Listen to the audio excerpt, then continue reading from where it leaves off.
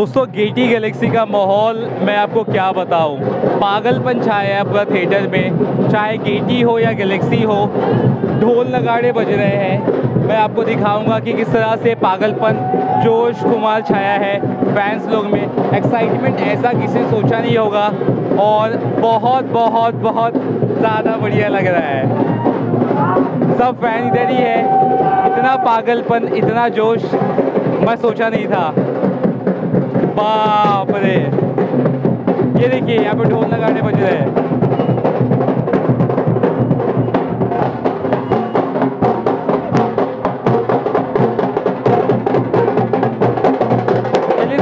रहे